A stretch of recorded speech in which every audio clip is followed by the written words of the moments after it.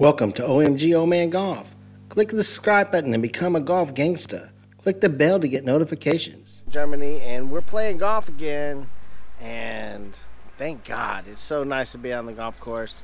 But uh, this round, I'm bringing you um, up and down roller coaster round. Um, the effects of the layoff are showing up. Um, fatigue and just uh, poor decision making. Uh, up and down, up and down. Got to get consistent again. But I love being on the golf course. Stay safe, stay healthy. The fun starts right now with a 376 yard par 4, number 3 handicap.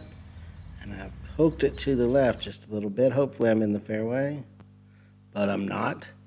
I tell you what, that six feet makes such a difference on the shot, being on the fairway versus being in the rough. All right, I'm gonna hit a six iron. And it uh, squirts across the, the fairway, and I'm on the other side of the fairway now. I'm trying to punch my six iron 120 yards under the tree and nothing but net. No.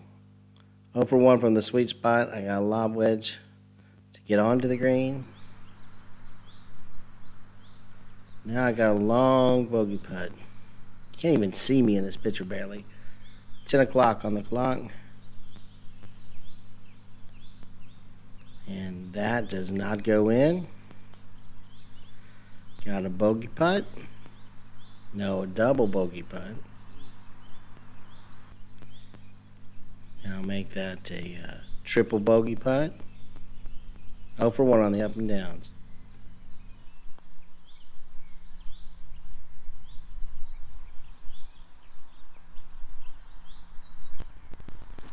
Three putt seven to start off. The second hole is a 419 yard par four. I got my uh, shot tracer set up, but I didn't capture the shot. It's the beginning of the year. Give me a break. All right, so I got Heavenwood from a long ways, and not a good choice. Now I've got uh, four hybrid. A great choice. Now I'm going for the hero shot with a lob wedge over the sand where I should just be playing to the front of the green. And it's in the trap. The wheels are off. I'm giving myself a good talking to. My brain is kicking in. Got a sand wedge shot here. And that's nice. That's real nice. And then I make up and down for double bogey. The third hole is a 331 yard par four. Just don't go right out of bounds or hit it left into the rough, and it's an easy hole. All right, I didn't hit it well, but I have six iron, 150 yards. And I pull it off to the left, so I got lob wedge to get up on the green. Not quite close enough to hit my uh, eight iron, too much rough. So lob wedge. Got a putt to save par.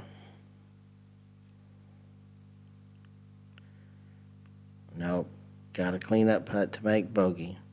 Hey, but after the way I started five over after two holes, I'll take bogey. The fourth hole is the number one handicap. Dog legs right hard, and there's this silly hole in the middle of the fairway. So I'm hitting Heavenwood to miss the hole. I'm in a pretty good spot, so I'm going to hit six iron. See, I'm playing this old man smart golf after that good talking to I had.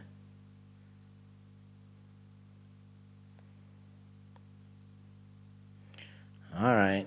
I got 110. I'm hitting pitching wedge. But I miss out to the left. I'm 0 for 3 on uh, sweet spots. I got a uh, Texas wedge here. Got a bogey putt. Nice up and down. The fifth hole is a 342 yard par four that dog legs hard left, and it's so tempting to try to cut that corner. And I tried and I failed. Now I got to punch it out. I have six iron from 150. I'm going to try to feed it through those trees and get it up to the green.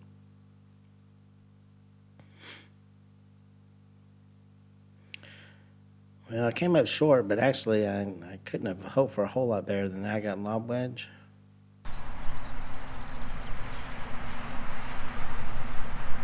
I would putt for par.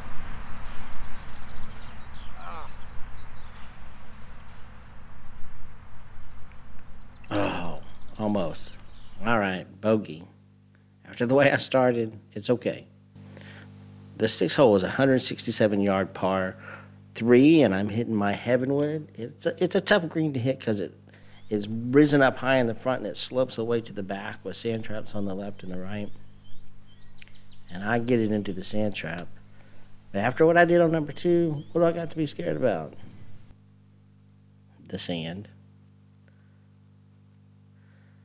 Well, I get it out, but I don't get it on the green. And I get to put my favorite club in my hand. I got the 8 iron. I'm going to hit an 8 iron chip. It's nice to make a par. I got a 306 yard par 4 for number 7. Just split the field goal. Oh, I got it in the rough a little bit, so I'm trying to punch a 5 iron under this stuff and up onto the green from 120 yards out.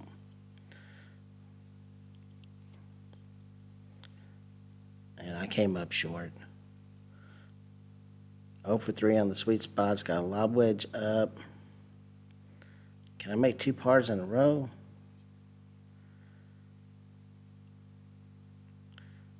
Nope. Finish this up for a bogey. Three for seven on the up and downs. The eighth hole is a 289 yard par four. No luck on the uh, shot tracer on this hole either. Just missed that tree. I did. I got sand wedge in from 85 yards. Come on, let's get a sweet spot hit here. Nope, come up short. I got the eight iron. You know, there's that silly game where if you lose a hole, you get you lose. They get to take one of your clubs away. I'll never play that game. Par putt, because I lose my eight iron and my six iron, and I'm dead. Well, that's par. All right, the ninth hole is a 340 yard par four that dog legs hard right. A lot of hard dog legs on this course. Hit driver. I got 120 yards. Hitting nine. Just kind of missed that tree just barely to get onto the, the line for the green.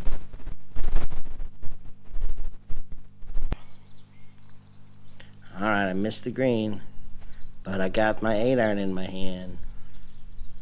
I think I'd almost rather miss the green than be 50 foot off with my putter.